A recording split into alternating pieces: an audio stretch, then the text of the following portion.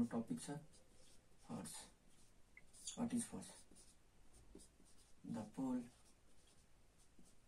or push on an object is known as as force. So basically force भनेको के हो? कुनै पनि वस्तुलाई तान्न तान्न हामी पुल भनेको हो तान्न वा पुस भनेको घचेट्न गर्ने प्रयासलाई हामी के भन्छौँ? Force so the pull or push on an object is known as force. अनि नेक्स्ट हाम्रो रहेको छ दस क्लासमा रहेको छ gravitation.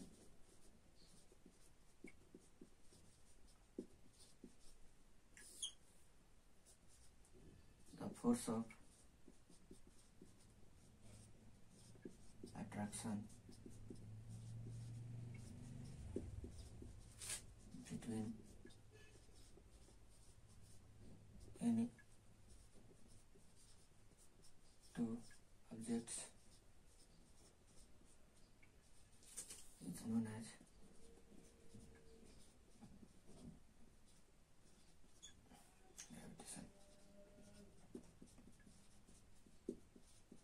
The force of attraction between any two object is known as force of attraction between any two bodies. Sorry. यहाँ बढी हुन्छ ओके ग्राभिटेसन भनेको the force of attraction between any two body is known as gravitation मानव कुनै पनि वस्तु यहाँ एउटा छ एउटा वस्तु छ ए छ र अर्को वस्तु बी छ त ती दुवैजना एक मिटरको दूरीमा बसेको छ ओके र यिनीहरूको केही न केही मास मानौ M two M one.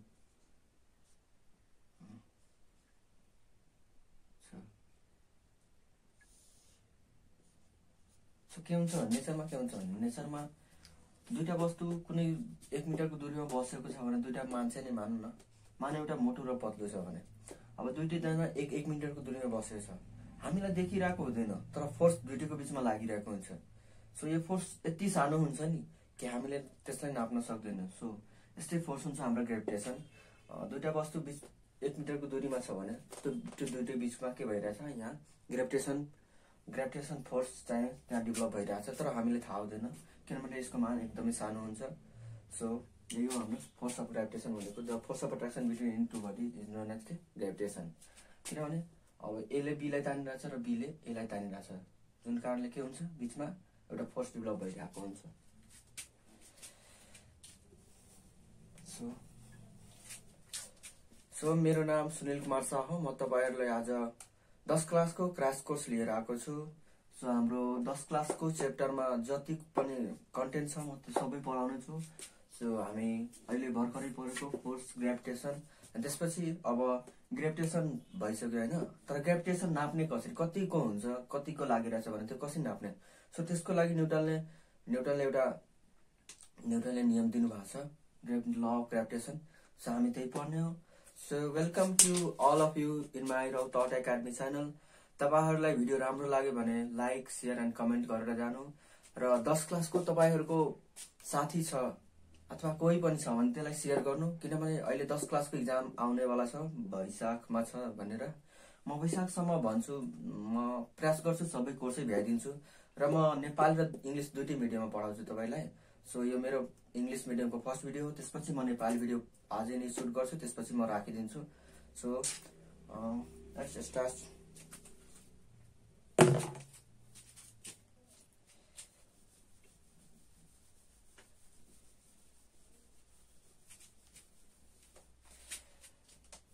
Newton's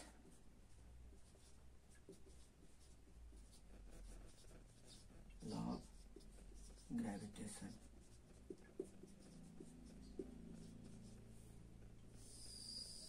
न्युटनले के भन्नुभएको थियो it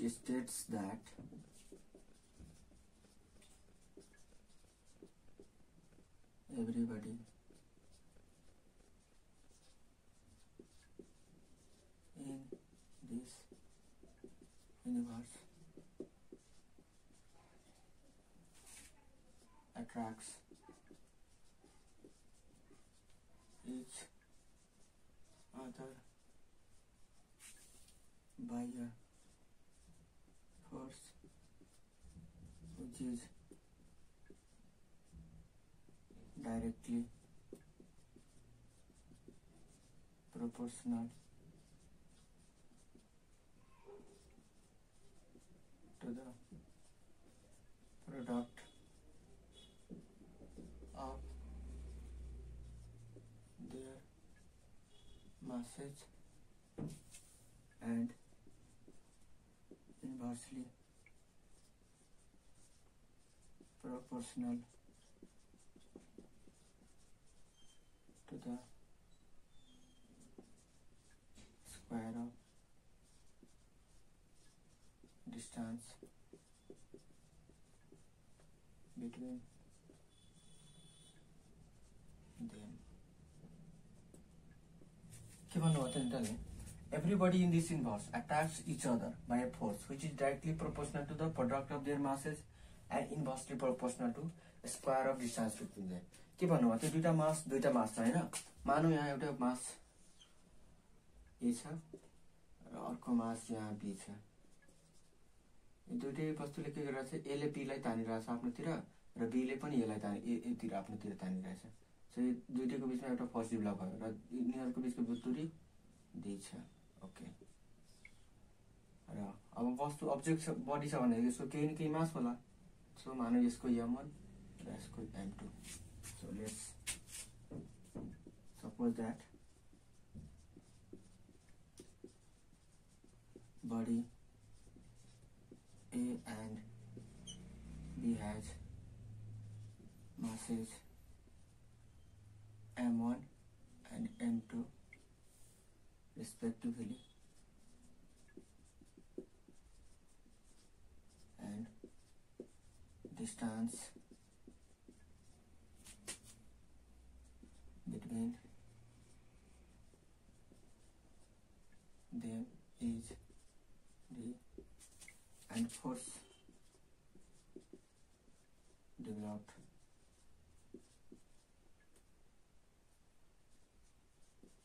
Between them is F. के छ? अब मानव दुई एउटा वस्तु ए र अर्को वस्तु के छ? बी छ। मासेस कति छ? एम वान छ र एम टू के छ? बी को छ। रेस्पेक्टिभली डिस्टान्स के छ? डी छ। फोर्स के भएको छ दुइटैको बिचमा? डेभलप भएको या भएको? सो हामी लेख्छौँ अब so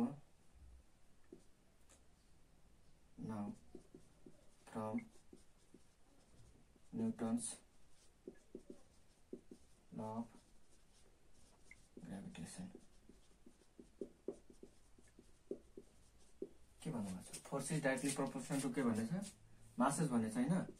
So M one into M two M one into M two यहाँ पर्स यो भनेको प्रोपोर्सनालिटी कन्सटेन्ट हो। जुन भनेछ अब अर्को हामी के भनेछ F is by D square के भनेछ अर्को के भनेछ everybody in this attract each other by a force attract गर्छ फोर्सले by which directly proportion to के product of their mass product भनेको गुणन हुन्छ होइन?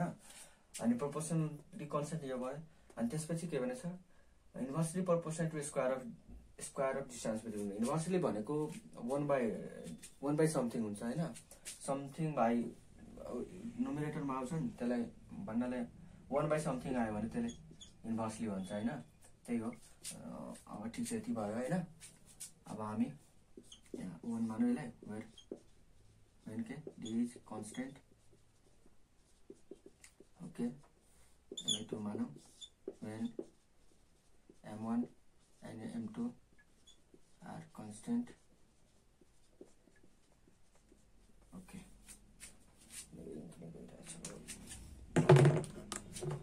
okay यति बुझ्नुभयो अब के फ्रम वान एन्ड टू एक र दुईलाई एकाउन्टसम्म तो F is M one into M two divide by D square और F is equal to G M one into M two divide by D square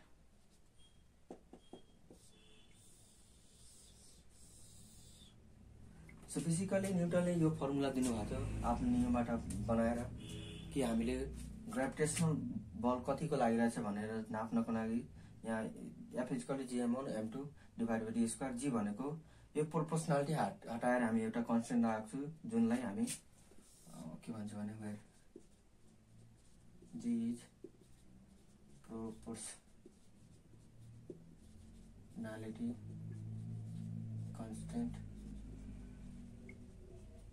known as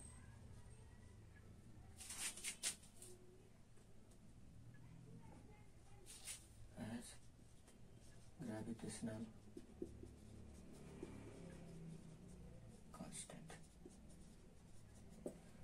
G के हो एउटा proportionality constant हो किनभने हामी प्रोपोर्सनालिटीलाई हटाएर राखेको सो प्रोपोर्सनालिटी कन्सटेन्ट हो जसलाई जी के भन्छ। ग्राभिटेसनल कन्सटेन्ट पनि ग्राभिटेसनल कन्सटेन्ट भन्छ र यसको मान six point six seven into ten to the power minus eleven newton metre square per KG square र जीको मान कुनै पनि कुरोमा डिपेन्डेन्ट हुँदैन। जी इन्डिपेन्डेन्ट हुन्छ। जुन ठाउँमा तपाईँलाई पृथ्वीमा नाप्नु अर्थमा नाप्नु मार्समा नाप्नु भेनसमा नाप्नु जुपिटरमा ना जुपिटरमा नाप्नु सबै ठाउँमा जीको मान के हुन्छ भने सेमै हुन्छ क्यापिटल जीको मान। अनि सो यति नै हो। हामी अब एउटा क्वेसन गरौँ न। क्वेसन गर्नु त्यसपछि तपाईँलाई अलिकति सजिलो हुन्छ। यो तपाईँले स्क्रिनसट लिनु या त पज गरेर छिट्टै सारिहाल्नु। ओके ठिकै छ? म यसलाई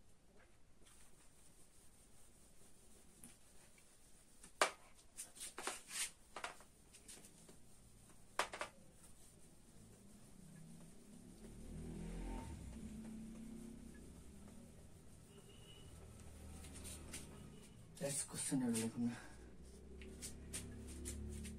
मानौ मोटो एन्ड पतलो has their masses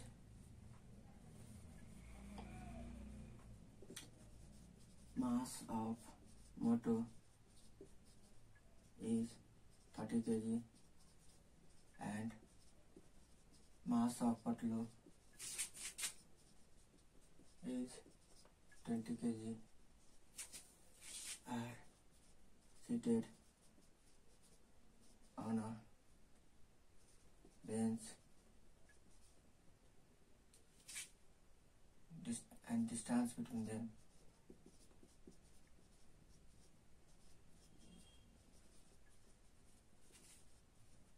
Is 2 meter. So calculate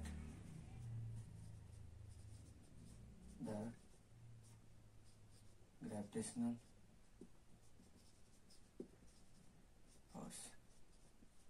के भनेको छ क्वेसनमा मोटो र पतलो हाम्रो कार्टुनको इन्ट्रेस्टिङ बनाउनलाई मात्रै मैले मोटो पतलोको नाम राखिदिएको छु तपाईँले सजिलो हुन्छ अलिकति बुझ्नलाई। मजा आउँछ होइन? सो मोटो र पतलो के भने के गरेछ? एउटा टेबलमा बसेको रहेछ। अनि मोटोको मास कति छ? तिस केजी र पतलोको मास बिस केजी छ होइन?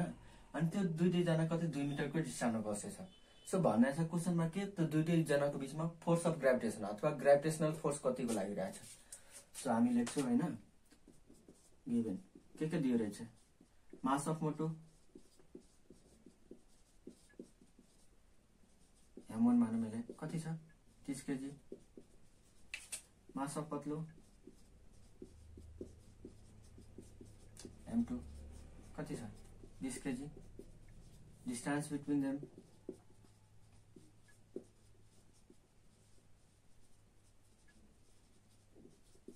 कति छ?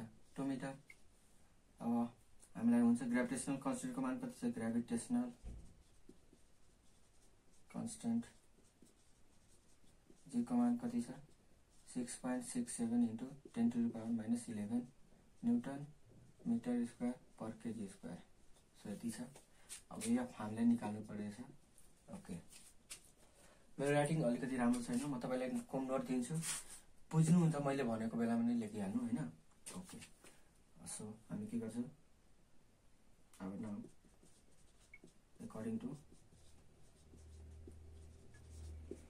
फर्मुला कुन फर्मुला हामीले अघि प्रुभ गरे होइन? त्यही formula equal to G M one into M two divide by T square. कति हुन्छ? जीको मान six point six seven into ten to power minus eleven into M one भनेको कति हो? तिस केजी। एम टू भनेको बिस केजी डिभाइड बाई टूको होल स्क्वायर। कति हुन्छ? Okay.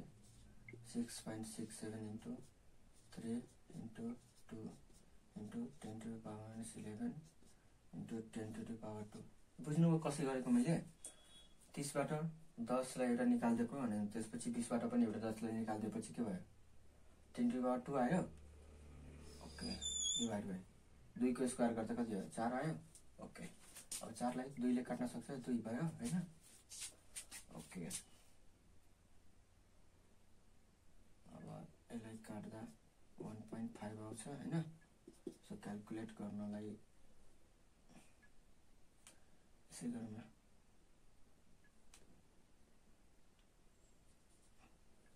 सिक्स पोइन्ट सिक्स सेभेनलाई टूले काट्दा कति आउँछ three three three something three point three three आउँछ होइन थ्री पोइन्ट थ्री थ्री आउँछ होइन इन्टु थ्री इन्टु कति भयो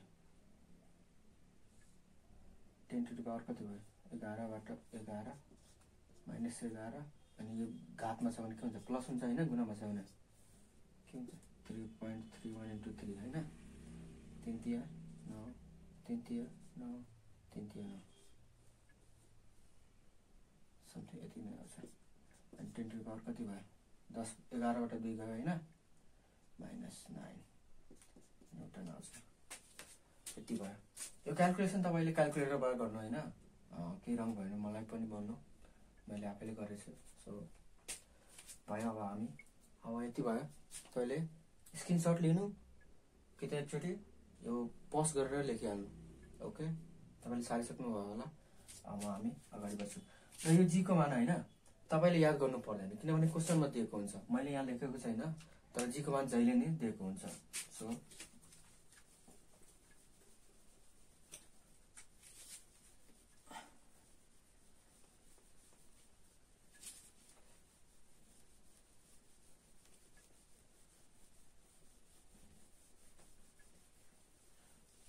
अब हामीले मासलाई बढायो भने के हुन्छ?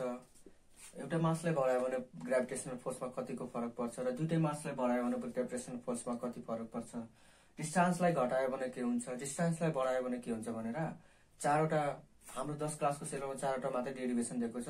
म त्यही पढाउँछु तपाईँलाई। सो के छ भने क्वेसनमा। If mass of one body doubled keeping distance. Constant.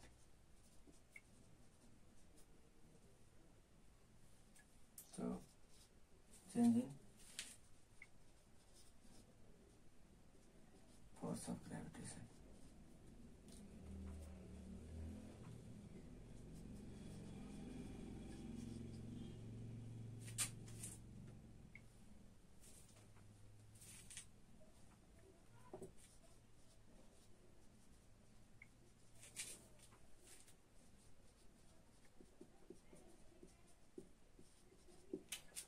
के भनेको छ भने मैले बडीको एउटा मास एउटा एउटा बडीको मासलाई हामी के गरेको छु डबल गर्दा। र डिस्टान्सलाई कन्सिडर गऱ्यो भने। फोर्स अफ ग्राभिटेसन कतिकोले चेन्ज हुन्छ? सो हामी पहिला सुरुको के भन्छ नर्मल बनाउँछौँ त्यसपछि युजको केस लिएर बनाउँछ होइन? सो फर्स्टमा के थियो हाम्रो? एउटा बडी ए थियो होइन? अर्को बडी बी थियो। ओके मास यसको एम वान थियो यसको एम टू थियो। फोर्स लाग्ने भनेको एफ थियो होइन? ओके डिस्टान्स भनेको यहाँबाट लिएर यसको सेन्टरबाट यसको सेन्टरसम्म थियो ओके अब अर्को के के भने चाहिँ एउटा मासलाई हामी डबल गर्दा। सो मानौ। एको मास ट्वाइस एम वान अनि बीको मान एम टू नै राख्यो।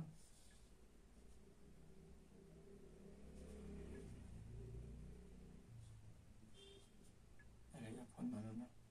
अनि डिस्टान्स चाहिँ दुई छ दुई छ। केसले भनेको जस्तो हामीले गरिदियो होइन? ओके न let's suppose that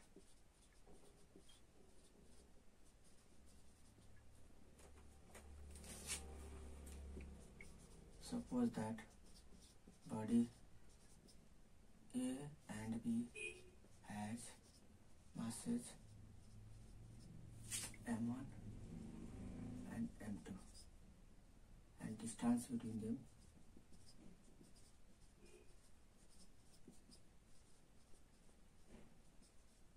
them is d and force developed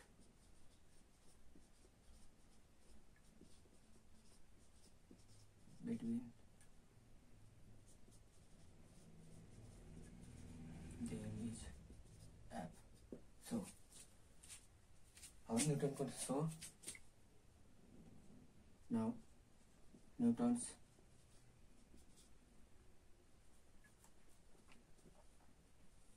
अब के गर्ने according to according to Newton's law of gravitation न्युटनको ग- नियमअनुसार के हुन्छ F is G M one into M divide by T square first मानौँ यहाँ तपाईँले प्रुभ गर्नु पर्दैन। मैले जसरी लेख्छु त्यसरी नै लेख्नु तपाईँ क्वेसनमा आयो भने अब हामी अब कन्डिसनतिर लाग्छ होइन? एकर्डिङ टु क्वेसन के भनेछ mass of one body double keeping distance between keeping distance constant so अब मान्नु suppose mass of body. A.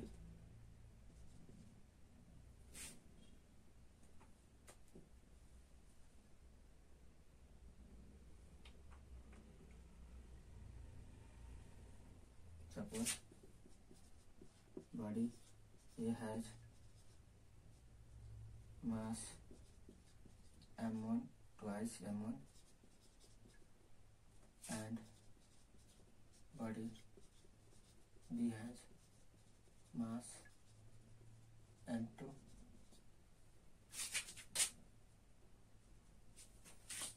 and distance between them.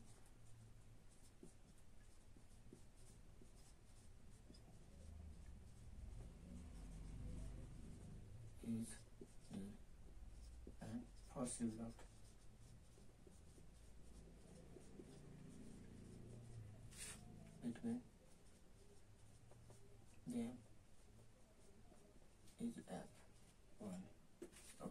के भयो यहाँ के गर्यो बढिएको मासलाई डबल गरिदिएको। अनि त्यसपछि अर्को मासलाई सेमै राखेको छु र डिस्टान्सलाई पनि सेम राखेको फोर्स के डेभलप भएको एफन भनौँ होइन? एफन भयो। अब सो हामी के गर्छौँ? फेरि न्युटनको नियम लागेर आएर so according to according to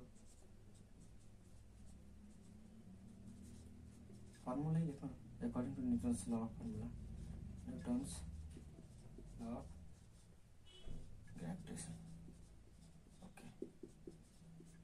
Newton's law of gravitation के एमोनको सट्टामा कति लेख्छौँ हामी M twice M one into M two divide by D square सबै गरेर कति एफ़ वान बराबर ट्वाइस हामीले G M one into M two divide by D square अब एफ़ वान बराबर कति ट्वाइस अफ एफ़ यहाँ एफ़ इजकल टु कति के राखिदिएको G M one into M two divide by D square from first भएर यहाँबाट राखिदिएको होइन। के भयो यहाँ? हामीले एउटा मासलाई डबल गर्दा के भएको? फोर्स पनि डबल भएर आएको हो। सो यो बुझ्नु भएन। हामी यहाँ लेख्छौँ hence if mass of one body doubled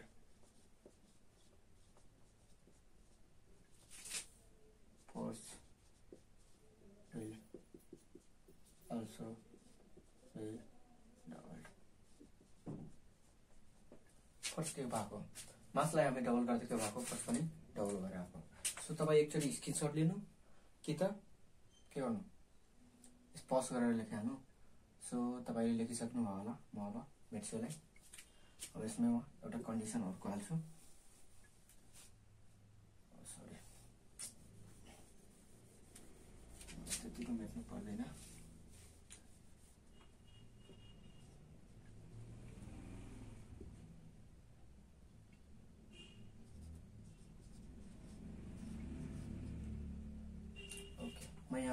मेट्छु के भने मास अफ बोथ बडी डबलमा लेखिदिन्छु यहाँ मात्रै। Both body double constant much change cost okay हामीले के गर्यो? बोथ मासलाई हामी डबल गरेको छु। डिस्टेन्सलाई सेमै राखेको छु भने के हुन्छ र डिफ्रेन्स तपाईँले यति त लेख्नुपर्छ नै यति त सेमै लेख्नुपर्छ। यहाँबाट म चेन्ज गर्छु होइन? के गर्छु मैले? एलाई पनि डबल गरेको छु। यहाँ बीलाई पनि डबल गरिदिएको छु।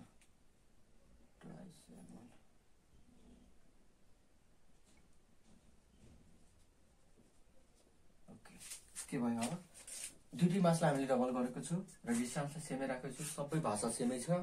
यहाँ मात्रै फरक गरेको छु होइन? तपाईँले पुरै लेख्नु तर मलाई बोर छ भने मलाई सजिलो छ अनि टाइम पनि बचाउनु छ सो हामीले यति गर्छौँ। अनि त्यसपछि हामी लेख्छौँ होइन? F equal to G M वानको सट्टामा कति लेख्छौँ हामी? ट्वाइस एम वान एम टूको सट्टामा twice M two divide by D F यसलाई टू मानौँ न? एफ टू मानौँ न यसलाई? ओके जी एम वान कति छ? यहाँ फोर बाहिर ल्याऊ टू इन्टु टू फोर भयो। M one into M two divide by D square अब एफ टू बराबर कति हुन्छ? फोर टाइम्स अफ एफ हुन्छ।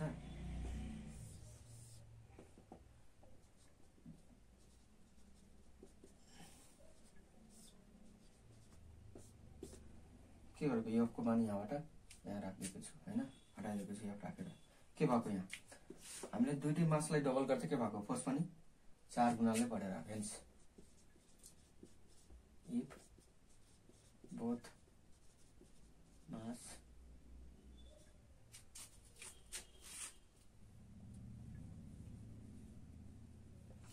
if mass of both body doubled force. Force increases. With four times के भएको यहाँ हामीले मासलाई दुइटै मासले बढाउँदा के भएको यहाँ फर्स्ट चार गुणाले बढेर आएको छ सो यसलाई पनि बुझ्नु भइसक्यो हो- भयो भने यसलाई पनि एकचोटि स्क्रिनसट लिनु अनि त्यसपछि हामी अर्को कन्डिसन दिन लागौँ। सो लिइसक्नु भयो? ओके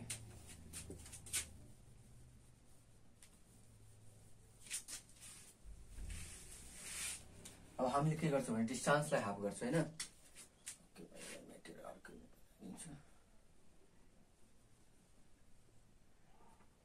मानौ? ए हो। अर्को बडी यो बी हो। फोर्स थ्री भनौँ हामीले डिस्टेन्सलाई आधी गरिदिएको के भइरहेको छ यहाँ?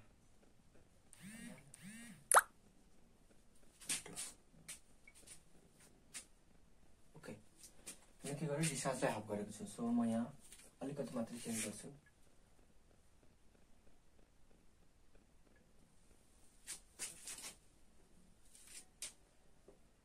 if distance of two body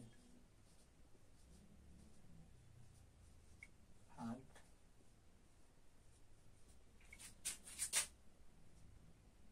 keeping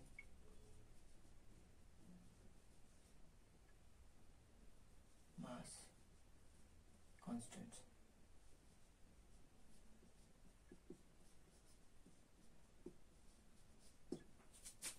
भएको? If distance is to body halved हामी डिस्टेन्सलाई के गर्यो? आधी गरिदिएको र मासलाई कन्सटेन्ट राखेको छु। How much change in gravitation force of gravitation कति हुन्छ भनेर हामी यहाँबाट टु एम वान होइन एम मात्रै राख्छु। अनि डिस्टेन्सलाई यहाँबाट डिभाइड टू गरिदिन्छु। ओके अब सेमै गरिदिन्छु सबै। हामी क्यालकुलेसन गर्छौँ होइन? एम वान एम टू ठिकै छ होइन सेमै छ होइन अनि डीको साइडमा के लेख्नु डी बाई टूको होल स्क्वायर अब के एफ़ थ्री मानेलाई होइन G M one into M two sorry F three मान्यो डिभाइड बाई डी बाई टूको के D by D square by four हुन्छ अब फोर माथि जान्छ एफ़ थ्री अनि G M one four F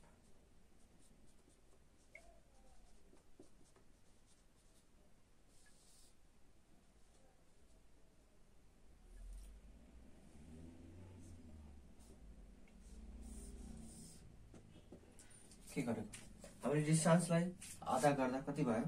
force चार गुणाले बढेर फेरि आएको छ। सो हेन्स हामी लेख्छौँ। Hence if distance Between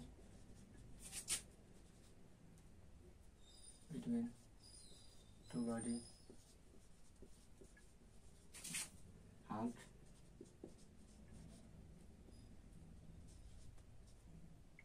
The force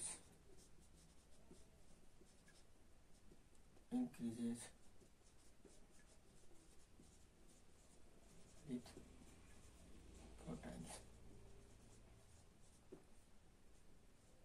के भएको मेरो यहाँ ग्रामर अलिकति राम्रो छैन ओके ग्रामर छैन तपाईँ बुझ्नु अलिकति इङ्ग्लिसमा यताउति भयो हुन्छ भने त्यति फरक पर्दैन तपाईँ बुझ्नु न हामीले के गरेको डिस्टान्सलाई हाफ गर्दा के भएको ग्राभिटेसनल फोर्स के भएको चार गुणाले बढेर आएको छ सो यसलाई पनि स्क्रिनसट लिनु तपाईँले पुरै लेख्नु होइन अनि त्यसपछि हामी के गर्छौँ भने अब अर्को एउटा अझ अर्को कन्डिसन रहेछ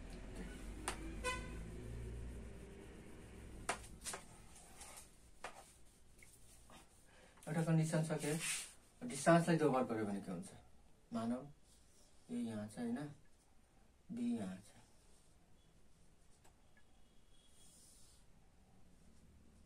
देखिरहेको छ होइन? डबल डिस्टान्स डबल जस्तो.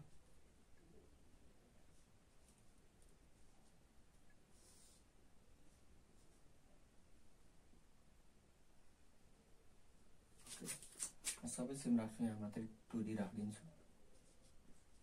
अनि यहाँ एफ ओके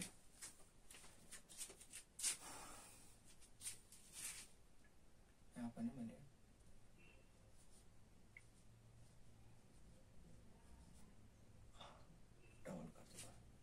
ओके सबै माथिको सेमै हुन्छ यहाँ मात्रै चेन्ज गर्छु यो मात्रै क्यालकुलेसन मात्रै फरक छ सबै कुरा त सेमै हुन्छ होइन फर्मुला राखेर अनि क्यालकुलेसन गरिदिनु सक्यो हुन्छ F is equal to G M one into M two divide by two D whole square होइन अब के हुन्छ एफ़ फोर बराबर G M one into M two divide by two भनेको four D square okay F four बराबर के हुन्छ G M one into M two divide by D square into one by four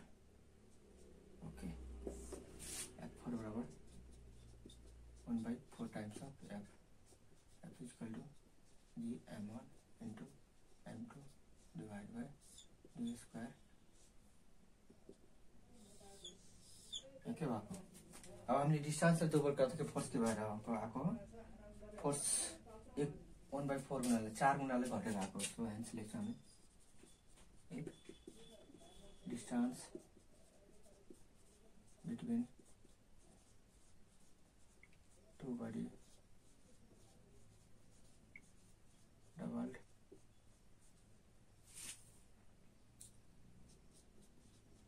force decreases by four times के भएको यहाँ? डिस्टेन्सलाई हामी दोबर गर्दा के भएको यहाँ? फोर्स चाहिँ चार गुणाले घटेर आएको छ। सो बुझ्नुभयो कि बुझ्नु भएन बुझ्नुभयो भने कमेन्टमा यस लेख्नु बुझ्नु भएन भने नलेखेर भन्नु मलाई। त्यो बुझेको छैन। कुन बुझ्नु भएन भने त्यो पनि भन्नु होइन। सो मेट्छु हामी अब हामी अर्को ग्राभिटीतिर लाग्छ होइन। सो मेटिदिनु भइसक्यो होला। ओके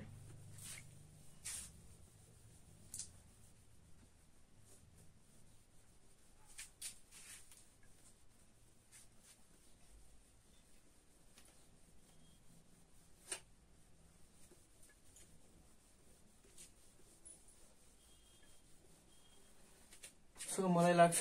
यो पार्ट यतै रहन दिनु यतिसम्म मात्रै रहन दिनु। त्यसपछि भिडियो नि ठुलो छ त्यसपछि हामी अर्को पार्टमा लिएर आउँछौँ। त्यसमा हामी gravity weight weight weight and mass weightlessness and feather and coin experiment पढाउँछु होइन? सो आजलाई यति नै। अर्को पार्टमा फेरि लिएर आउँछु। So thank you so much